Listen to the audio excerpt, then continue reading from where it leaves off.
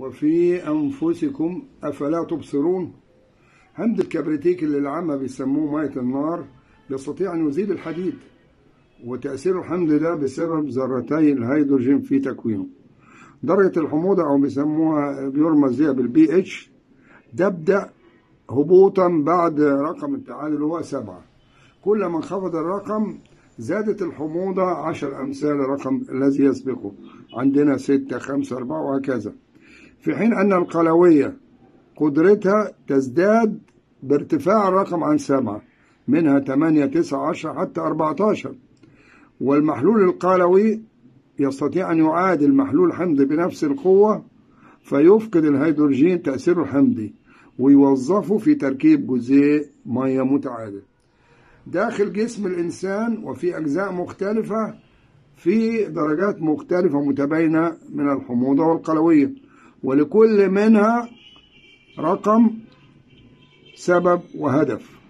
ولدينا هنا خمس أمثلة. أولها مهبل الأنثى حمض التأثير. لحماية هذا الممر من أي كائنات ممرضة تحاول اختراقه في حين أن السائل المنوي قلوي التأثير حتى لا تقتل الحيوانات المنوية خلال مرورها من المهبل. عند وصولها لعنق الرحم يكون ذلك مناسبا تماما فهو قلوي التأثير. المثل الثاني بنقول على جلد الإنسان غلالة حمضية درجتها ما بين أربعة ونص وستة ونص. ذلك لمنع أي فطريات أو بكتيريا من اختراق الجلد. علما بأن البعض مغرم باستخدام الصابون اللي هو أصلا قلوي لأوقات عديدة ولفترات طويلة مما يفقد هذه الحماية الطبيعية فيعادل حموضة هذه الغلالة ويفقدها تأثيرها الوقائي.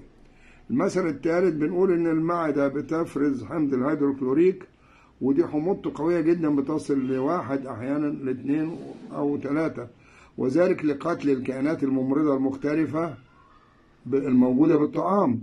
ولإمكان تنشيط الخمائر الهاضمة في المعدة والتي تحتاج هذا الوسط الحمضي لتهضم الطعام وتفككه. لكن إذا وصل الناتج للأمعاء الدقيقة تتغير الأمور في اتجاه القلوية التي تناسب خمائرها الهاضمة ساعتها وتمنحها القدرة على امتصاص كثير من النواتج. المثل الرابع بنقول إن في كل خلايا من خلايا جسمنا نفايات من سموم وجزيئات معيبة وغيرها يلزم التخلص منها لحماية الخلية والاستفادة ضمنا من نواتجها. لذا يتواجد بكل خلية جسيم بنسميه ليزوزوم. ده بيقوم بهذا الفعل.